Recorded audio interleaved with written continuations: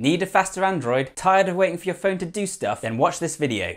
So as your phone starts to get sluggish and slow, it can get really annoying and you might be thinking about throwing it out or smashing it. But before you do that, keep in mind that there's a few tweaks and tricks you can use to get a little bit more performance and speed back out of it, to make it perform like new again potentially. In this video, we're going to be looking at some of the best hacks and tricks you can use to get the best performance out of your device. And you might be surprised by just what a difference some of these can make. So the first thing you need to do to ensure you're getting the best performance possible out of your device is to make sure it's up to date. That means that if Google has rolled out a new version of Android and it's available on your device, you want to install that because sometimes that'll give you a performance boost. You might also find that your manufacturer's got some updates. If you've got a UI skin on top of your phone, this can help to speed things up as well. And likewise, if there's a particular app that you're noticing is starting to chug, then make sure that's up to date too because sometimes updating the app itself can bring much better performance. But if that's not an option, then something else you can do is to install a custom ROM. And this is an alternative to the official operating system and firmware that's provided by your manufacturer. And normally it comes from the open source community. Often these come with a significant performance upgrade, lots of cool features and things, but it does carry some risk. You're going to need root access, and if you get it wrong, there's a small chance of bricking your device. However, if you were thinking of getting rid of your device anyways, and if it's no longer being supported by your OEM, then this is a good way to get a little bit more life and performance out of it, and potentially to upgrade to the latest version of Android if it's available for the model you've got. There's tons of articles on the website about custom ROMs, about flashing your device, about root access, so I'll leave some links in the description down below for you should you want to go that route. Another handy tip is to clear up your home screen, especially if the slow performance you're noticing is whilst browsing through the UI. So this means making sure there aren't too many big widgets on there, making sure that you don't have unnecessary feeds from whatever junk Samsung stuffed on there. Turn all that off. Better yet, make sure that your home screen is just one screen with a few icons on it, maybe in folders, and your phone will be much quicker to use and much less likely to stutter when you're swiping through and browsing around your UI. Likewise, choosing a different launcher can also sometimes improve the performance. Okay, so now we're gonna get a little bit more technical. The first one though is a old trick that most of you already know. We're gonna switch off the animations or at least turn them down. So to do this, you're gonna to need to go into the developer options on your device. And to find that, you first need to access, to turn on the developer options menu in your settings. So to access developer options, you need to go into your settings menu, find where it says build number and tap on this seven times. If you get it right, it'll say something like, congratulations, you're now a developer. And if you go back, you'll now have a new option to go into the developer settings. In here you can find all sorts of cool stuff, but the one we're interested in is animation scale.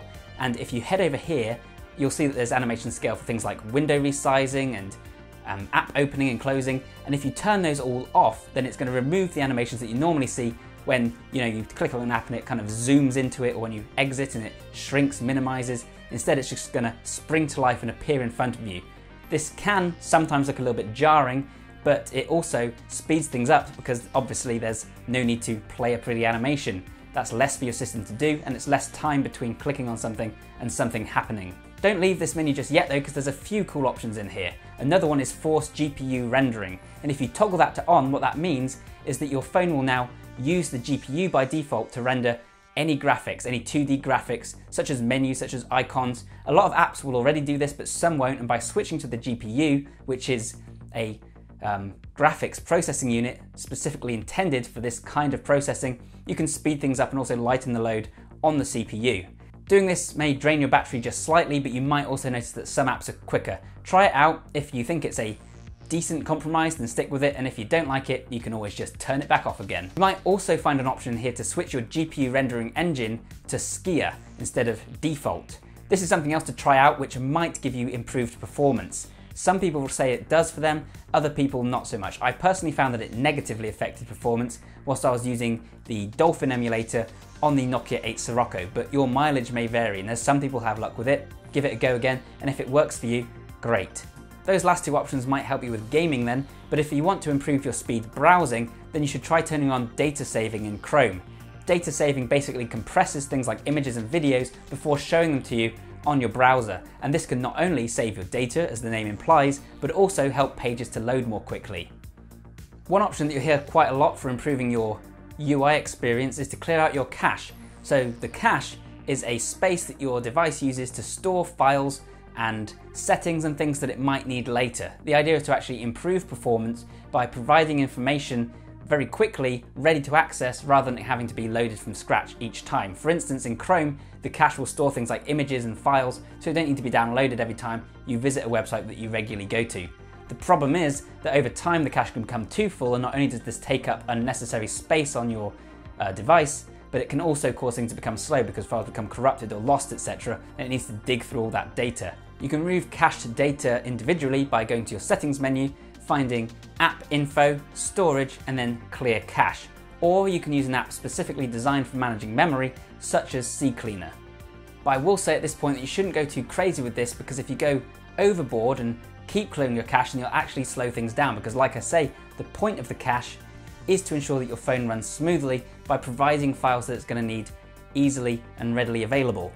Just as you shouldn't keep clearing your cache, you also should avoid using task killers. So those apps that are running in the background when you go into your multitasking menu, they're not actually causing any problem. They're paused and they're kept in the memory so that you want, when you want to use them again, it's easy to just resume without having to boot them up from scratch.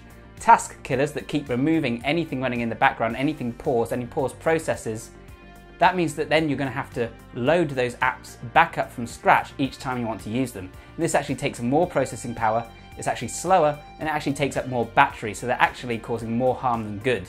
If you have a task killer and you think it's helping, you think it's speeding up your phone, it's probably because you have one misbehaving app that's being closed or several misbehaving apps. But far better than killing everything is just to find what those apps are and either change their settings or uninstall them.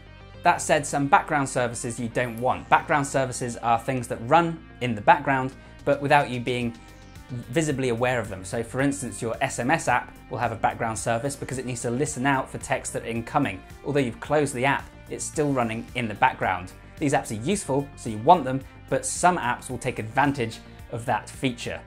To find out which apps have access to the background services, head back into your developer options and go to background check, and there you can see which ones have permission. And if you see something here that is using a background service and you don't know why, just turn it off. If it negatively affects the performance of that app, then you can just turn it back on, but otherwise you've just saved yourself some unnecessary work and hopefully sped up your phone a bit and saved battery life.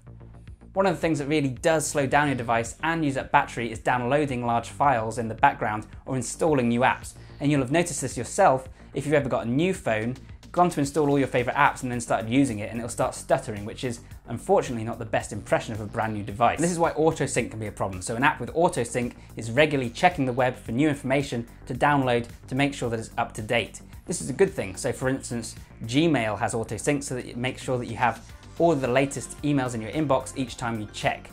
But at the same time, some apps will regularly auto-sync and you don't really need them to. Maybe you only need them to auto-sync once a day rather than once every half hour. So check the auto-sync settings in each app through their own settings menus and turn off anything you don't need because that is sucking up power and using up battery. But if all of this doesn't work and you're really looking to get the very best performance out of your device, especially for gaming, then you might be interested in overclocking your device. Gary's done some great videos on what overclocking means, so I'll link to those in the description down below. PC gamers will be familiar with the idea. It basically means that you're getting more performance out of your CPU by overriding the restrictions that are imposed by your OEMs. Obviously, they're there for a reason. You can end up overheating your device, damaging the internals, so you need to know what you're doing and you need to be careful and you need to understand the risk.